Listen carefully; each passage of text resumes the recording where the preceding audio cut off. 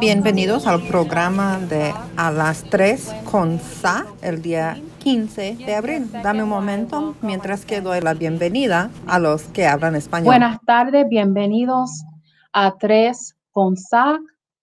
Ustedes que quieren acceso al programa en su idioma en español, por favor marquen al número que aparece en la pantalla 425 436 6200 y por favor, cuando contestan la llamada, ah, compartan este, la contraseña que aparece empezando con el número 682 Gracias por estar con nosotros. Thank you for giving me that time um, to make sure Gracias por darme la oportunidad, así que todos pueden estar aquí escuchando. Mi nombre es Tammy Rivera, la directora ejecutiva de Southside Organizing Center. Le estamos trayendo estos programas en vivo por medio de Facebook. Como ustedes ya saben, no podemos vernos de cara a cara, aunque quisiera. Estaba hablando antes de venir al aire y estuvimos hablando de que de esa manera podemos hablar con personas que no podemos comunicar con ellos por maneras antiguas. Entonces, antes de comenzar el programa, quiero compartir un descargo de responsabilidad. Las opiniones y la información que compartimos aquí no necesariamente son las opiniones de SAC. Mientras que traemos a personas ah, para hablar aquí, todos comparten su opinión, pero no necesariamente representa a SAC. Yo sé que tenemos una gran comunidad ah, y vamos a traer a un líder para hablar con nosotros, que le vamos a presentar enseguida. Desde la elección hemos tenido programas especiales debido a las preguntas, preocupaciones que algunos de ustedes compartieron aquí y en otras reuniones. Entonces junté todas esas preguntas, preocupaciones, lo compartí ayer y vamos a seguir añadiendo ah, mientras que llegan más pensamientos y eso lo vamos a tener disponible mañana en inglés y en español en el sitio de red. Quizás ya está ahí ahora de una vez, pero ahí van a poder ver las preocupaciones que todos tienen. Son muy, todos son muy están compartiendo pues todas sus preocupaciones muy directos y son preguntas críticas que todavía necesitan respuestas. Estamos buscando o explorando ah, por respuestas con nuestros líderes, pero también esperamos que los de que tengan autoridad, los que nos están sirviendo, nos dan las respuestas que necesitamos. Antes de seguir con el, programa, quiero asegurar que ustedes saben a quién más viene a hablar con nosotros. Representante del Estado, Marisabel Cabrera. Ah, también vamos a tener a Jesús Salas, que es se trata mucho de derechos de los trabajadores. Así que estén pendientes para escuchar de los liderales, los líderes de la comunidad. También tenemos un sorteo a diario. Si ustedes nos dan un like o comparten el programa en Facebook, hay diferentes maneras ah, que pueden entrar al, al sorteo. Si nos da un comentario aquí, podemos ver al lado. Ah, también tenemos Oh, mira, ya Yolanda me está saludando. Ella y yo fuimos a la primaria juntas. También tenemos a Rita. También haciendo grandes trabajos en la comunidad. Entonces puede compartir su pregunta o su comentario aquí en el programa en vivo o en cualquier de nuestros ah, sitios de, de red o en las redes sociales. Queremos saber qué quieren saber ustedes, eh, aparte de lo que ya estamos compartiendo. Ya le damos sus, sus noticias, hablamos del censo, hablamos del coronavirus. y, tenemos un segmento donde ustedes nos dicen qué quieren escuchar. Como les dije antes, quieren saber de más recursos. Hola, hola, Mari Carmen. Oh, también quieren saber cómo plantar un jardín orgánico o un jardín de lluvia o para involucrar con las organizaciones del concejal. Quieren empezar un grupo de residentes. A nosotros queremos que cada área, cada vecindario en el lado sur de Milwaukee tenga un grupo de residentes que, que también trabaja con los otros personas importantes del vecindario. Entonces, si usted se involucra o también le estoy pidiendo a ustedes Ah, apenas estamos empezando con el programa. Hemos estado haciendo eso cara a cara desde hace 30 años. Ya estamos en el aniversario de hace 30 años y vamos a ver cómo podemos celebrar eso más adelante. Pero favor de llenar el cuestionario. Queremos saber qué de lo que estamos compartiendo es útil para ustedes y qué debemos cambiar o eliminar y sus pensamientos generales acerca de lo que quieren ver. Ahora, una noticia acerca de esa vida que estamos viviendo ahora, esa vida virtual, pues. Ah, nos llegó el aviso de Marina Dmitrievich ella es la, concejal, um, antes era la supervisora del condado. Y ella anunció hoy lo que está llamando votar seguro como su primera acción en la oficina. Y lo que está presentando Lo que compartió es que ella está presentando una legislación para asegurar que las personas no pierdan su derecho de votar en la siguiente elección. Uh, para ella, ella quiere um, ver que cada residente recibe una solicitud para un boleto ausente junto con un sobre con la estampilla ya puesta para poder participar en la elección del otoño. Entonces vamos a estar pendiente y vamos a compartir con ustedes en las redes sociales y aquí en el foro qué sucede con eso. También estamos pendientes al nivel del condado y al nivel estatal y vamos a seguir compartiendo eso con ustedes. Eso es lo último. Y, pues ya estamos en medio del involucramiento cívico y el coronavirus. Ya desde la elección hemos estado preguntando por qué. ¿Por qué la elección que sucedió hace pues un poco más que una semana aunque había un riesgo del coronavirus y aunque había un orden para quedar en casa.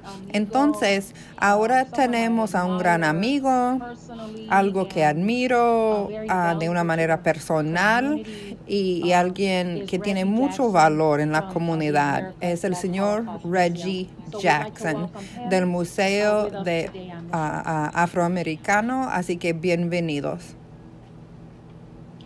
Wow, Reggie. Reggie. We can't hear you quite no, yet. no le escucho, pero vamos a... Ahora sí, ahora sí le escucho. Bienvenido al programa, hermano. Es un um, gusto tenerlo aquí para ver su cara, para uh, ver que le va bien y para tener acceso a su sabiduría. Y para hablar un poco de la situación que sucedió con la elección. Así que el tema del, del programa es por qué por qué sucedió la elección, aunque estaba el riesgo del coronavirus, aunque había un orden para quedar en casa. Así que voy a entregar el programa a usted para que pueda compartir su opinión y si hay más información que uh, piensa que, que debe de saber. Pues primero que nada, gracias por la invitación. Para mí, la respuesta e-, es una respuesta sencilla. Yo creo, no creo que es algo complicado. El GOP estaba intentando de quitar el, derecho de votar a las personas, sabiendo bien que la gente no iba a salir a votar debido al miedo del coronavirus. El gobernador intentó de parar la elección y el dicho de que hemos puesto los jueces muy conservativos eh, en los tribunales estatales y yo creo que fue algo intencional basado en, en que la gente piensa que debido al orden de quedar en casa y el miedo del virus, coronavirus, muchos no van a salir a votar en nuestras comunidades no tuvieron acceso al boleto ausente. O sea, el proceso de pedir el, el boleto tenía que ir por el internet. Yo tuve que ayudar a mis suegros porque ellos no sabían. Eh, causaba mucha confusión. Y eso es para las personas que tienen acceso a una computadora, que tienen acceso a la tecnología, donde pueden tomar una foto de su licencia de manejar, porque eso fue requerido un comprobante de, que era un residente y eso era difícil. Y obviamente lo vimos en, en los números principales como 41% salió y hace cuatro años era como 57%. Eso es lo que yo pensaba que iba a suceder. Y estaban pues pedirte que la gente esperaba en la filas en, cuando deben de estar en la casa era algo peligroso. Y muchas personas dijeron que no nos importa, no están preocupados con nuestra seguridad. Yo no voy a seguir apoyando a su partido ya. Y por eso vimos a, tanto éxito con Jill Karofsky al Corte Suprema. Mm, muchas personas ganaron que no pensaron que iba a ganar, no solamente aquí, pero en todo el estado. Era un mensaje de los que iban a votar. Si a usted no les importa lo que pasa a nosotros, está bien, le vamos a enseñar que nosotros todavía tenemos poder. Y es un patrón muy claro que, que empezó con las leyes pidiendo la identificación antes de la elección de 2016. E, es, lo mismo, están quitando el derecho a algunos um, vecindarios a propósito. Hablando de quién podía haber hecho una diferencia, quién que no lo hizo, ¿usted puede hablar de eso? ¿Quién podía haber cambiado algo? ¿Estamos faltando algo de responsabilidad o um, opciones? Más temprano estuvimos hablando de uh, con el señor Pedro Colón y también Ed Falón, hablando de un punto de vista legal um, y cuáles eran sus pensamientos. Y una de las preguntas principales que le preguntamos a ellos, y aún estamos preguntando, en un caso así, el Departamento de Salud no podía, no tenía más poder que el tribunal diciendo eso es un peligro a la salud pública y vamos a cerrar estos sitios y ya. Eso sería ah, junto con ahora no podemos juntar más que 10 personas a la vez en el autobús. Pedro Colón dijo que había un caso introducido al tribunal que dijo, si vamos a posponer a, a, los juicios, o sea, entonces, ¿por qué no podemos posponer a la elección? ¿Usted no tiene pensamientos o usted no piensa que podía haber hecho el Departamento de Salud? Yo creo uh, que hubiera sido un, un dicho muy importante, pero no lo uh, hicieron. Desafortunadamente, yo no creo que, que iba a tener efecto. Si ellos tomaron esa decisión, con tantas otras cosas sucediendo, sería un reto y el tribunal, ya como sabemos, y quien está en el Corte Suprema, un tribunal muy conservativo y cuando tomaron el voto era 5 a 2 y ellos apoyaron a todos los esfuerzos para quitar los derechos de votar a todos del Estado. Entonces, eh, yo creo que si el Departamento de Salud intentó de hacer eso, la, hubiera ido al corte y el corte, pues igual como lo hicieron ahora, lo rechazarían. Yo quisiera que lo hubieran hecho solo para ver. Ah, desafortunadamente no lo hicieron, pero yo creo que en basado en, en donde estamos ahora, no fuera algo exitoso. Como sabemos, que eh, pensamos que eso significa mucho, pero el tribunal crea nuevas leyes todo el tiempo y pueden decir que eso no aplica, que la situación es diferente.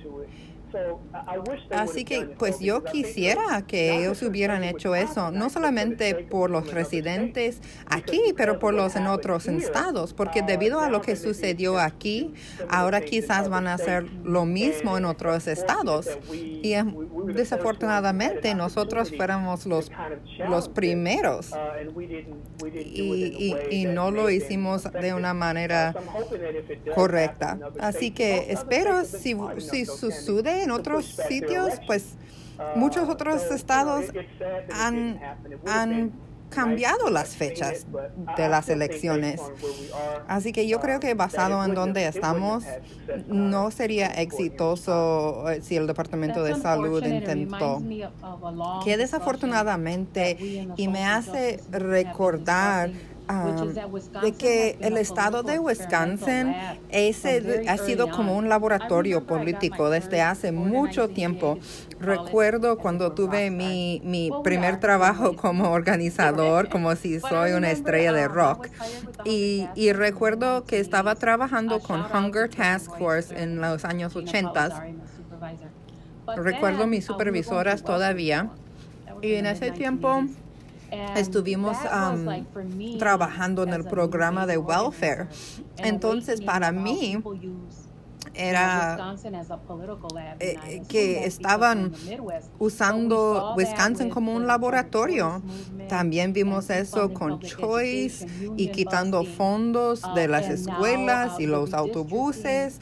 Ahora que están cambiando los distritos, así que tenemos, todos tenemos que ver que, que están utilizando Wisconsin como un laboratorio. Y eso está afectando a, a toda la nación, pero más que nada a nosotros. Y aquí hay una manera que lo podemos ver. A ver, ¿qué opina usted acerca de qué podemos hacer ahora hacia adelante?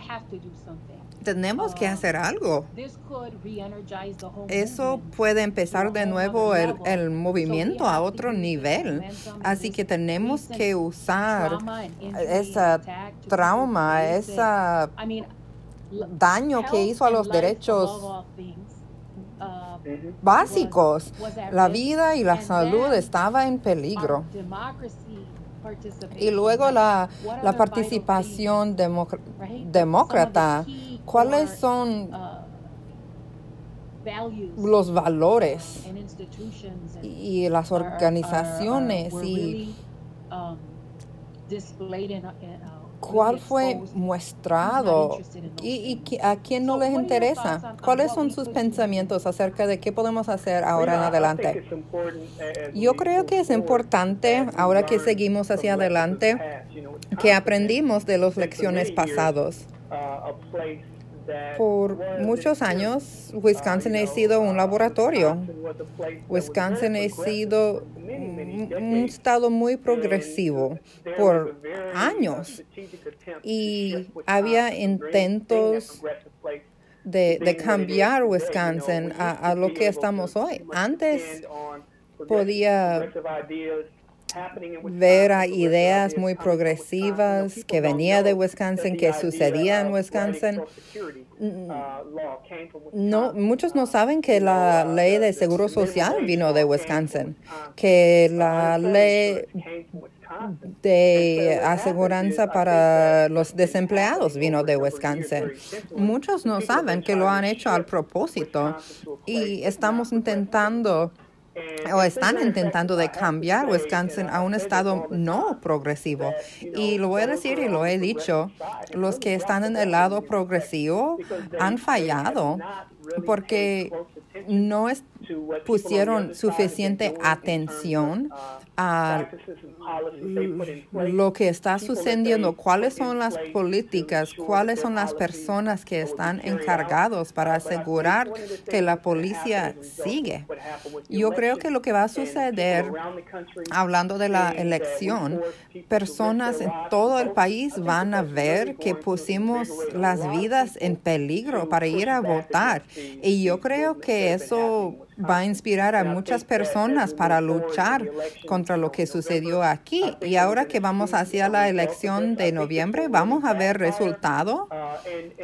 Y más que nada, Tammy, los de nuestra comunidad, los afroamericanos, los hispanos, sabemos de esos retos. Hemos tenido esos retos por años. Sabemos lo difícil que es. Ya por años hemos estado luchando. Pero la gente fuera de nuestras comunidades no saben. Y están viendo la manera que Wisconsin cambió políticamente y los condados de Wisconsin han cambiado políticamente, son más conservativos y están eligiendo a miembros más conservativos para representarlos. Entonces, esas personas ya están en la casa ahora después de la elección diciendo, ¿qué es lo que estamos haciendo? ¿Por qué estamos haciendo eso a la gente? ¿Qué es lo que los del GOP no entienden del orden de quedar en casa? Hasta vimos a la gente eh, en la tele con su traje como si estaba en el hospital diciendo, oh, está bien, pueden salir a la calle. La gente vio eso. Y pensaron, esa persona no tiene corazón si nos va a decir que salimos a la calle. De, verdad, no hay personas de color ah, y, no podemos ver a nuestros líderes que nosotros escogimos. Y, hay que preguntar, ¿aún queremos a esas personas que, que tengan autoridad? Y estoy hablando especialmente de los blancos aquí en Wisconsin. Si vamos a, a tener a ellos a, pensar en ideas progresivas o, o traer a, personas más progresivas, pero podemos hacer eso y podemos quitar la tristeza de esa elección. Y, de verdad quitaron el, derecho de las personas que, que, ya tienen dificultades. Así que los mayores de edad, ¿cómo lo hicieron? O personas con las personas incapacitadas, o sea, había maneras de ayudar a ellos para que puedan votar. Si tuvimos solamente tres centros de votación, ¿qué tal la gente que esperaban al, autobús para ir a votar? Los que ahora tienen que quedar en la casa con sus hijos y no van a llevar sus hijos a la calle para votar. Es que tantas personas que fueron traicionados y traumatizados. Ya pasando por eso, ¿me quedo en casa seguro o salgo a votar? Eso es una posición que la gente no debe de, de experimentar. ¿Cuáles son sus pensamientos acerca de cómo podemos hacer un, un registro automático para, para los que quieren votar? ¿Usted piensa que eso es algo que debemos de hacer? Sí, no hay razón por qué no debemos tener eso en cada estado. Cada estado. No tiene sentido no hacer el proceso sencillo. Desafortunadamente, Wisconsin y, y otros estados se quitan personas del registro de votantes si mudan, si se mudan o si pasan a una elección y no vayan a votar. Eso no debe de suceder en una democracia. Queremos a todos que pueden votar que vayan a votar. Eso es una democracia. Y si vemos a otros países, siempre estamos hablando de naciones que no están tan desarrollados con nosotros, que no tienen la economía. Ellos salen a votar a niveles mucho más que nosotros. Debemos tener vergüenza que, que no estamos funcionando y que no estamos haciendo un ejemplo. Cuando podemos ver a, los países en Centroamérica, Centroamérica, Suramérica, China, que, que tengan niveles mucho más altos de los que salgan a votar. ¿Y cómo es que vivimos en la sociedad? Es nuestra obligación educar a la, a la gente. ¿Por qué no tenemos eso en lugar? Estas no son cosas que la gente de aquí piensa. Aquí sabemos la importancia que salga a votar, pero hay que pensar, los mayores de edad, ellos casi siempre salgan a votar uh, y ahora no salen. Así que lo que sucedió hace una semana en la elección, sabían que los mayores de edad no iban a salir porque estaban preocupados por su salud. Entonces requiere ah, educación, eh, personas como usted y otros que trabajan por su organización, salir y dejar saber a la gente que hay mucho que necesitamos cambiar para que nuestras elecciones sean justas y estas son las cosas que tenemos que hacer. Entonces, no, no son cosas grandes, algunas cosas sencillas, pero es difícil hacerlo cuando hay personas en el gobierno del Estado que no quieren que sucedan estas cosas.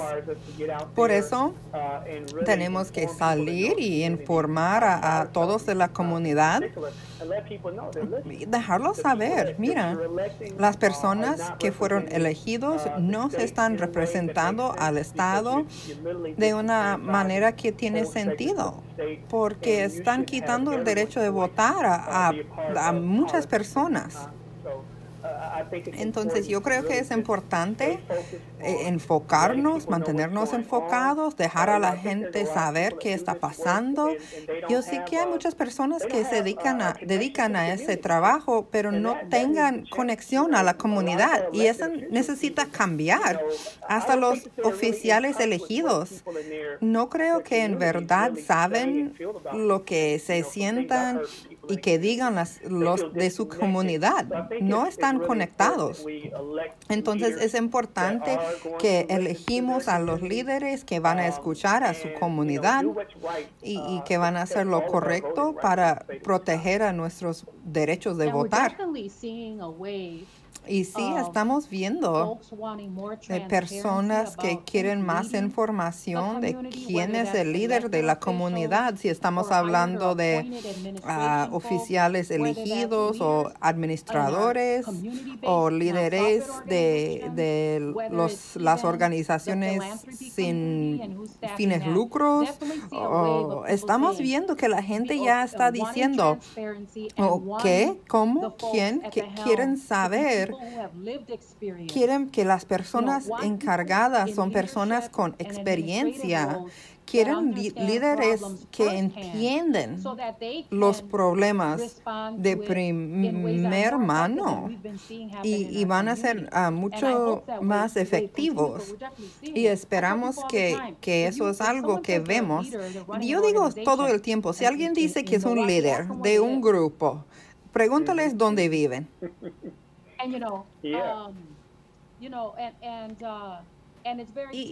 y eso dice mucho. Um, sí. Yo veo que eso está sucediendo más y um, más. Y también cuando personas digan, quiero resolver ese problema, pero se juntan con personas que no experimentaron ese problema o crean ciertas iniciativas que trabajan por un latino que, que tenga mucho dinero, pues lo que funciona para ellos no necesariamente funcionaría por alguien que vive en la ciudad con un ingreso bajo. Quieren aplicar soluciones por un grupo diferente y por eso no están funcionando. Y también están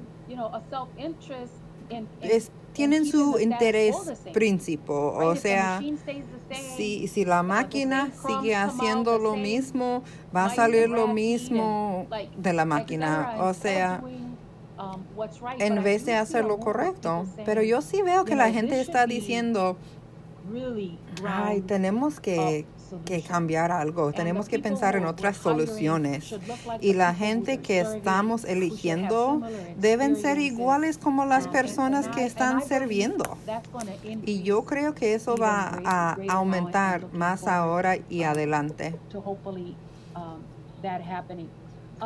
Hoy, no sé si usted escuchó, Marina Dmitrievich la concejal ah, presentó una legislación, um, yo creo que su primer um, acto ahora que fue elegida, um, diciendo votar seguramente para Milwaukee. Y así Milwaukee mandaría una solicitud con un sobre que ya tiene la estampilla a, a todos antes de la elección de otoño. ¿Usted qué opina de eso? Claro que sí. Yo creo que eso tiene que suceder si vamos a, tener una elección justa. Una cosa que sí vimos, si vemos fuera de, la ciudad de Milwaukee, aquí tuvimos más que 180 centros de votación y solo utilizamos cinco. En otros condados había gente tocando de puerta a puerta asegurando que tenía sus boletos de voto ausentes Literalmente, si iban de puerta a puerta ayudando a la gente. Pero como nosotros somos una ciudad tan grande, no tenemos suficientes personas para hacer eso. Entonces, hay que ver a, nuestros líderes para asegurar que tenemos ese poder. Y ahora, como estaba usted diciendo de la representación, en, todos los otros sitios. Uh, la gente que toma decisiones o sea, personas que ponen las reglas y toman decisiones que afectan a todos nosotros. No pensamos que en muchos casos el, poder que tenemos en la comunidad, como, dijo usted, tenemos la experiencia, entendemos cuál sería una respuesta, pero la gente que está tomando las decisiones ellos no tienen esas experiencias y mucho menos ni vayan a buscar las personas que pasaron por esas experiencias. Entonces toman las decisiones y muchas veces tal programa o tal programa sale mal y un año después, dos años después falla y no funciona porque nunca iba a funcionar porque no tuvieron a las personas necesarias eh, eh, para hablar en la en el mismo cuarto antes de empezar el programa. Y eso lo vemos en las comunidades afroamericanos, eh, en, los hispanos. Estamos hablando que de personas en el cárcel. No permitimos a las personas votan cuando salgan de, del cárcel. No hay por qué no deben tener el derecho de votar si ya están fuera del cárcel. En Maine permitan que, las personas encarceladas pueden votar. Y eso es gran parte de los que no, no que ya aquí en el estado de Wisconsin quitaron el derecho de votar. Hace tiempo, más que 9%, más que 23 millones de personas perdieron su derecho de, votar debido a las circunstancias. No tenemos que pensar mucho en las respuestas o las soluciones hemos estado hablando de todo eso en, nuestros en nuestras comunidades, solo que nadie nos está preguntando. Nadie de los que tienen poder nos hacen caso, porque en vez de escuchar, hablan a nosotros, en vez de hacernos preguntas y preguntar de las respuestas que tenemos, porque sabemos que esas respuestas sí saben que van a funcionar. Sabemos que alguien con, mucho dinero que crea un programa para los de bajos ingresos, pues no lo experimentó, no va a funcionar. Así que todos deben tener la oportunidad de recibir un boleto de voto ausente y si eso sucede, vamos a ver un Milwaukee diferente con oficiales elegidos que sí son responsables y que mantengan los administradores, los dueños de, de los negocios que lo mantenga responsable de una manera que nunca hemos visto antes. Y hasta que llegamos a ese punto, no vamos a tener un sistema que funciona para todos. No, no está funcionando para nadie. Muchos estamos buscando maneras de mantener nuestra calidad de vida y al fin no va a funcionar para los ricos. Otro punto es que ellos, los líderes, son los que están saliendo mejor debido a esos programas por su salario. Y eso ya tenemos que cambiar, hermano. Estoy con usted ese drama, ese dolor que está experimentando tantas personas eh, nos ha mostrado la verdad que la gente necesita ver. y espero que ahora es el momento para hacer lo correcto en vez de cambiar elecciones solamente para ganar. Necesitamos ganar una elección basado en sus valores y sus ideas en vez de eliminar las personas para que no vayan a votar. No quieren ganar por sus ideas y lo que tienen que ofrecer en vez de ganar porque la gente no tuvo oportunidad de votar. Eso es falta de honor y eso ya, espero que reciban ese mensaje, que sean elegidos porque por lo que tienen que ofrecer, no porque son engañosos. Yo estoy de acuerdo con todo eso. Gracias por estar aquí con nosotros. Ya estamos muy emocionados para seguir trabajando juntos. Vamos a hablar mucho ese año que viene, muchos foros, reuniones, conferencias, institutos de liderazgo. Así que vamos a, a empezar a trabajar. Tenemos mucho que hacer. Sí, yo espero seguir trabajando contigo, Tammy. Hay mucho trabajo que tenemos que hacer y por eso estoy aquí. Yo soy alguien que cree en dar las voces a las personas de la comunidad. Es tan importante que seguimos ah, colaborando y, cruzando barreras y espero trabajar con ustedes eh, en ese trabajo tan importante. Y gracias por tenerme de nuevo. Gracias a ti. Cuídese mucho. Usted también. Gracias. Cuídese. Hola a unas cuantas personas, unos residentes. A ver, Maribel, Felix, Chino. Ahora, muy agradecido por el tiempo de Reggie. Reggie tiene mucha historia de, de, compartir la verdad aquí en la comunidad acerca de muchos temas. Si usted tiene oportunidad de escucharlo hablar especialmente acerca de racismo, la, la historia de las leyes que, que, estaban contra las personas de color, que no les permitieron comprar casa y cómo sucedió todo eso. Y pues si quieren saber más de las leyes contra todo eso eh, de parar que la gente no podía comprar casas en ciertas comunidades, aún ya está a un nivel federal. Estamos aceptando sus comentarios y ahora es el tiempo para compartir su opinión.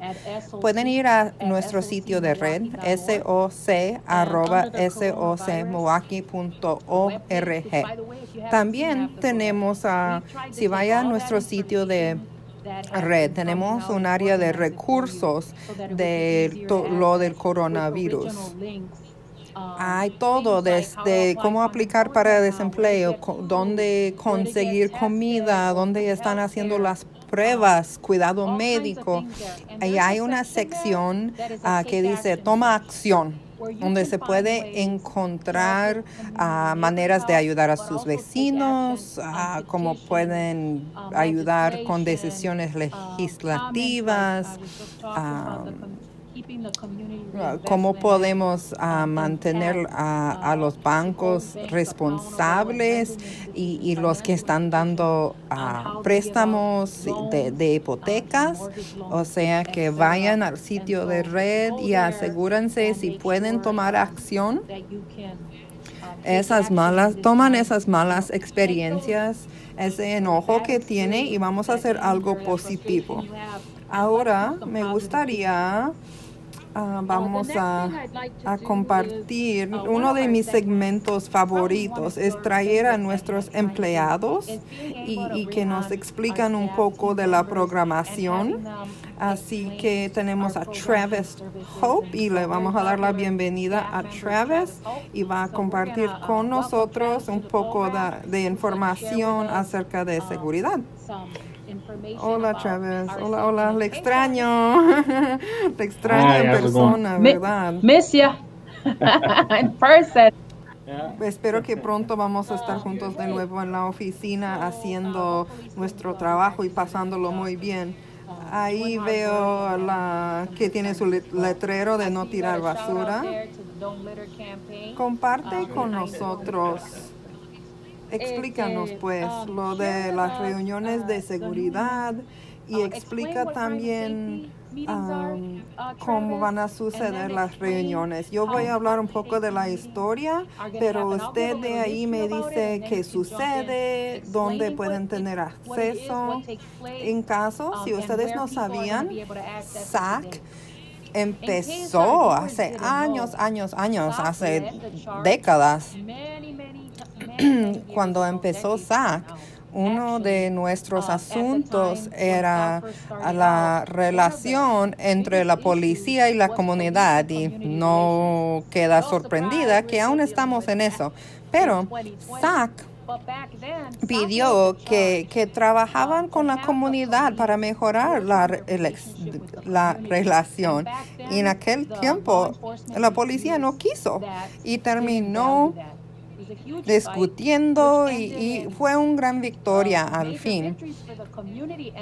Como resultado, empezamos con las reuniones de seguridad aquí en el distrito donde SAC se encontraba. Ahora, todos dicen, oh sí, tenemos nuestras reuniones de seguridad, algo valoroso por ambos, la comunidad y la policía, pero hace tiempo eso era una lucha. Y por eso quiero dar las gracias a los que estaban aquí antes, uh, que hicieron todo eso posible. Así que explícanos más. Crime and safety meetings are, what happens there, and where they can get access to uh, it now. Sí, reunimos cada tercer miércoles del mes. Ese año estaba en la biblioteca en la calle Mitchell, a Mitchell Street Library. tienen mucho espacio. Ah, vienen los de la policía, ah, vienen unos abogados de la ciudad, eh, los abogados, los residentes y contestan preguntas y hablan de los números, de la data que está sucediendo en el distrito número 2, aquí en el lado 2 porque el Distrito 2 cubre la mayoría del lado sur, 53204 a 53215. Entonces, reunimos y después ah, dan comentarios, hagan sus preguntas, pueden hablar ah, con la policía para salir adelante si tienen algún problema y um, salimos adelante como comunidad juntos. Es una buena reunión, um, una reunión muy popular, ah, uno de los más um, populares del lado sur, llega mucha gente, todos siempre están bienvenidos y debido al orden de quedar en casa, lo que estamos haciendo hoy a las seis en el, en el Facebook del uh, Distrito 2 van a tener un video que, eh, por el capitán, um, que es el capitán del Distrito 2, um, van a hablar de la data, la información, el coronavirus. Y también um, quieren comentarios no va a ser una reunión larga. Las reuniones casi um, siempre son de una hora. Hoy va a ser 10 minutos ah, en Facebook Live, en el inglés, en el español. Ay, qué bueno, qué bueno.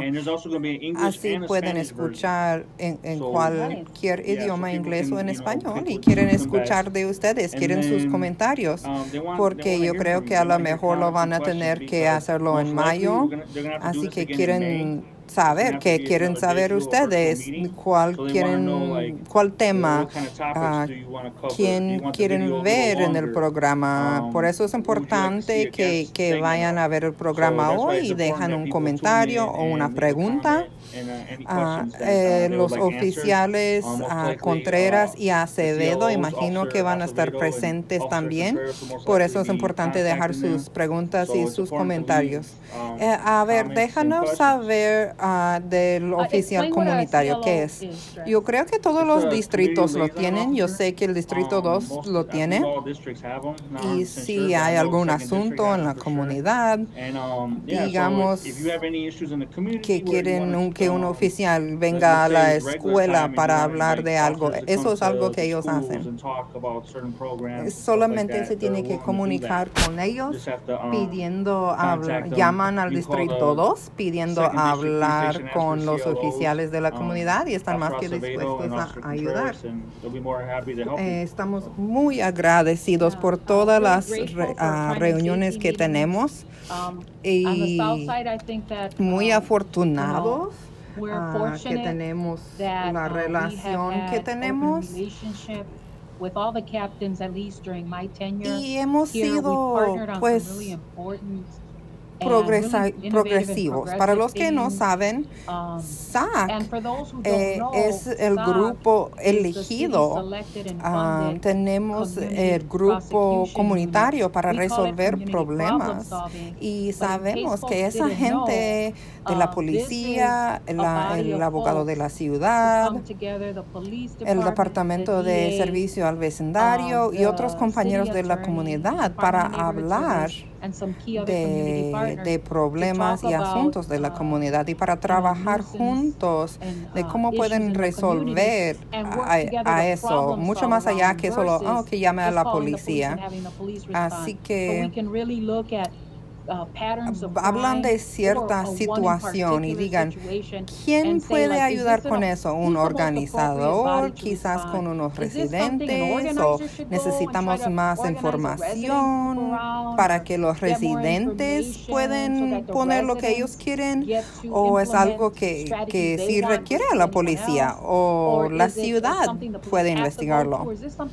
Otra cosa que no saben, ah, no sé si lo mencionamos antes, era que SAC empezó la idea de tener a policía en, el distrito del, del, vecindario. Eso empezó con el capitán Ramírez que empezó el programa. Uh, Así que para que la gente entiende la historia y la lucha y que no, no se no se pierdan hoy a las 6 en el um, distrito 2 en su página de Facebook. Y un comentario de lo que estaba um, diciendo Tammy. Eh, otra cosa de la reunión que me gusta todos salen, eh, el concejal, todos están ahí. Y si en el futuro, o, sea, ahora no se puede, pero en el futuro, cada tercer miércoles del mes, es importante que la gente salga y, y hay mucha información y, vamos a investigar los asuntos hoy a las 6 en la página de, de Facebook del Distrito 2. Ah, que vayan a ver. Y ahora que estamos haciendo eso, van a poner mucha información y hay que ir a verlos. On their Facebook, so it's just important to check it out. Thank you, Travis. Be safe. Gracias, Travis. Cuídese. Nos vemos pronto, hermano. All right. Take care. Cuídese. All right, we're going to start the next segment. Ahora vamos a seguir con el siguiente segmento. Ahora con nuestra gerente de comunicaciones. Tenemos a Marisol por video compartiendo de nuestros programas especiales.